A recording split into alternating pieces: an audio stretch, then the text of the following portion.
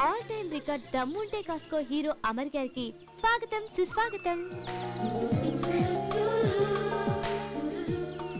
అబ్బా రాజీ నువ్వు కూడా మొదలు పెట్టావా ఈ సక్సెస్ దాటి తట్టుకోలేక ఎటైనా పారిపోతానేమో అని భయంగా ఉంది.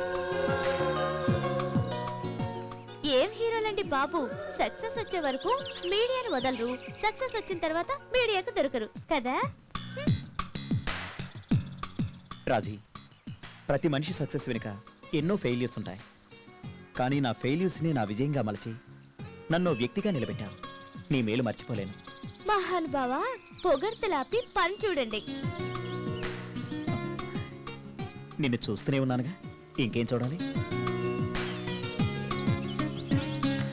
రేపే మన ఎంగేజ్మెంట్. కొంపదీసి ఆ విషయం మర్చిపోయారా ఏంటి? అదయ్యాక తీరిక ఒకరినొకరు చూసుకుందాం. ఓకేనా?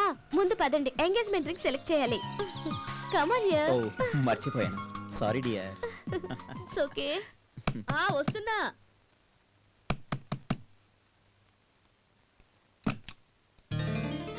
ఏమయ్యో? పెద్దాడు వచ్చాడయ్యా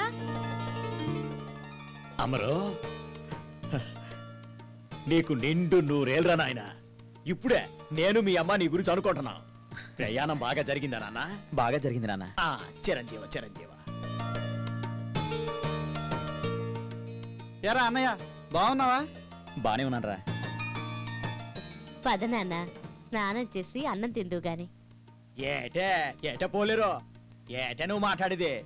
నీ పప్పు గోంగూర తినడానికి ఆడిప్పుడు మామూలు అనుకున్నావా? సినిమా హీరోనే.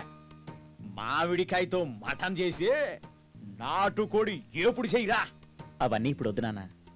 అమ్మ చేత్తో గంజిచ్చినా గాని అది అమృతమే. నీకు అర్థం కాదే నువ్వు చెప్తే వినవు కదా.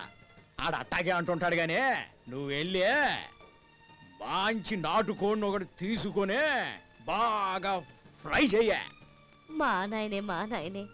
నిన్నటిదాకా పెద్దోడు రాలేదని రంకులేస్తూ కదయ్యా నీ కోపం అంతా ఏడికి పోయింది. చా చాలేవే సందు దొరికితే చాలు. సర్రం దూరిపోతావు పెద్దోడు వచ్చినేసావు ఊర్లో చెప్పి రావాలే నేను వెళ్ళొత్తా పోతానరా పెద్దోడా. నువ్వు హీరో అయినావని అందరికీ చెప్పొత్తా. పోతానా.